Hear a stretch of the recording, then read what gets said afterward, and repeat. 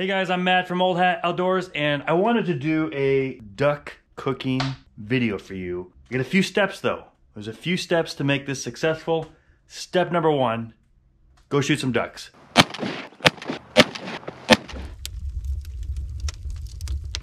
Welcome back. It's been four days since we had that awesome duck hunt with Sean, a limit of greenheads, and some geese. And we're gonna clean these ducks now. I know, I know what you're thinking. You haven't cleaned them yet? But it used to be fairly common practice that you would age your ducks and geese before you clean them and eat them when the temperatures are right. So the temperature in my garage is in the low 40s. And what I do is I age, typically age my waterfowl for three to five days, depending on the weather. I lay them breast up, that way just in case there's any shot that's gone through the guts, it doesn't seep into the meat. And we sit them right here, right here. As my wife says, in the way of the drawer she wants to get into. That's important. So these have been sitting for four days. We're gonna pick them, pick the breast clean. I'm gonna show you how I, I'm gonna show you how I prefer to, to clean these and cook them. And then we are gonna eat them. We're gonna eat them. So let's get cleaning. Okay, first steps first, you want to face the duck away from you. You're gonna have it breast up like this, and you're gonna start rolling feathers, what I call uphill. Just rolling your thumb across the breast, just gonna make sure you get all the way down to the sides, down to about the armpits there.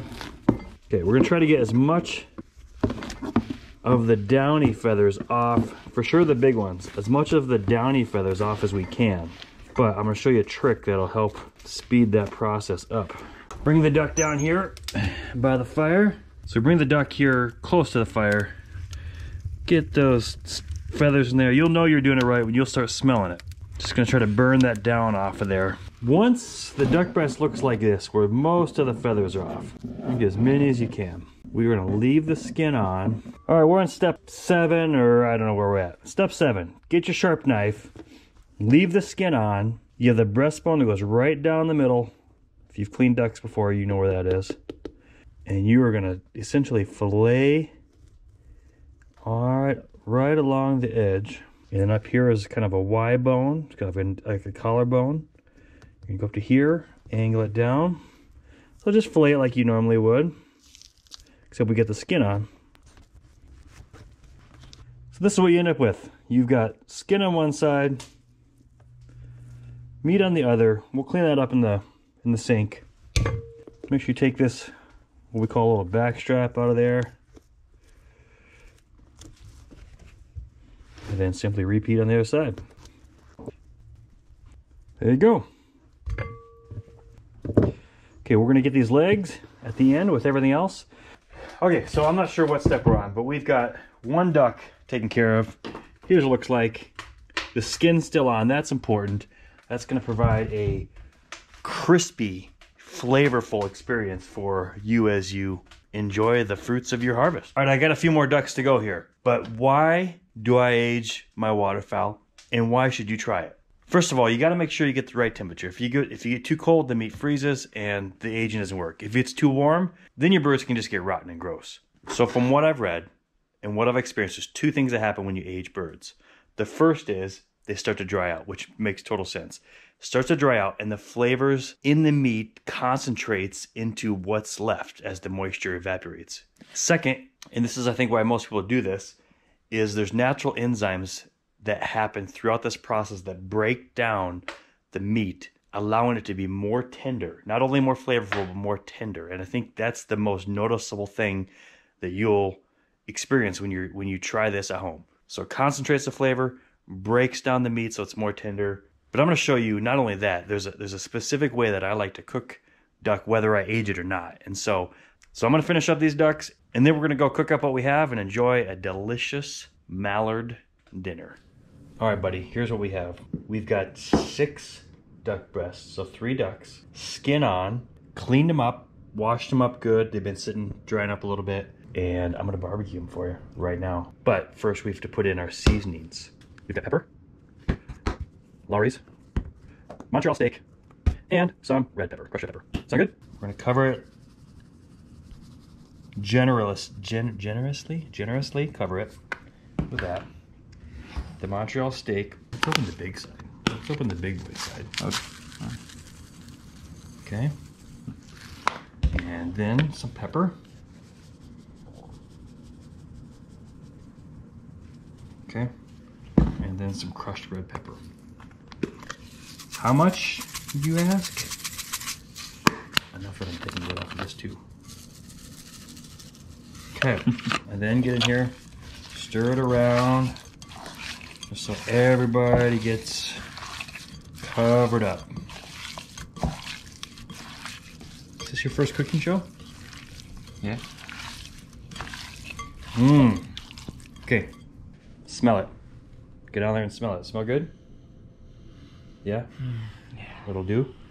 All right. I'm going to let that sit and absorb for a half an hour. And then, and then I'm going to cook it for you. We're going to barbecue it.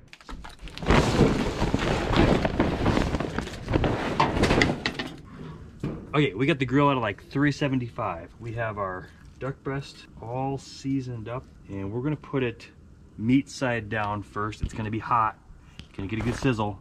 We want the skin to be crispy. Ooh, that smells delicious, doesn't it? Mm-hmm. And we don't wanna overcook this. If you overcook it, that's why people don't like duck. It sounds like the duck is cheering for us, like, yes. Okay, we're gonna close the lid and leave it on here for about three minutes. We're gonna flip it and do the same. All right, three minutes in. Do a quick flip. Now the goal of leaving the skin on is there's just a rich flavor in that skin. And then when, it, when you grill it like this, why do we like it, Pear? Because it's Good. it's because it's good, because it's crispy. Let's close that up for another three minutes. All right, just flipping these guys over. You want it crispy like that. Ooh. Make sure you have a short fork so you burn your fingers. Okay, I think we're good here, buddy. You want it juicy like that, right? You don't want it, Mhm. see how the juices are still in there? A lot of that juice comes from leaving the skin on.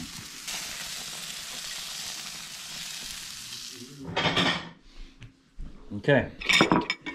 So this would be great on a sandwich, you know? Ooh. But we don't necessarily have time for that. So I'm just gonna cut it thin. And we don't have good bread. We don't have your homemade bread. And you see how pink? You want it juicy like that. Now your spouse or significant other may say, ew! But that's when you say, hey, more for me. Why don't you try that little corner piece right there? Or you can do the big one. You can go all in if you want. I mean, okay. You're not really a good judge of food though, because you eat just about everything. I don't, so I'll Oh. try it. That's good. Juicy. that's really good. Is it fairly tender? Mhm. Oh, it's perfect. Four days we aged it, and now we're cutting it nice and thin. We get the crispy skin. That's good. Oh my gosh! Like that doesn't taste. Least piece I had it was not gamey at all.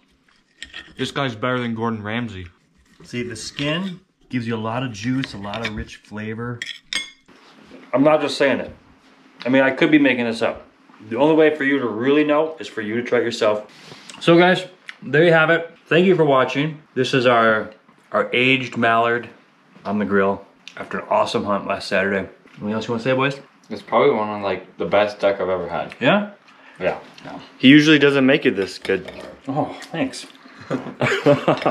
Anyways, we'll see you soon, guys.